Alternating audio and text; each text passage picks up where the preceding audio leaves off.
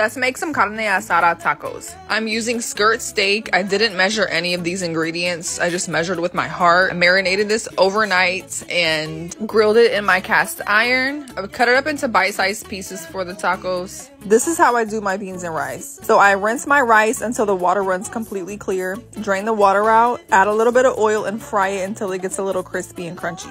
Add some chicken bouillon, beans, and your water. Bring it to a boil, let it simmer on low, covered for about 20 minutes. It'll come out perfect. I didn't measure any of this either. I'll give you the ingredients on the screen. Love you, bye!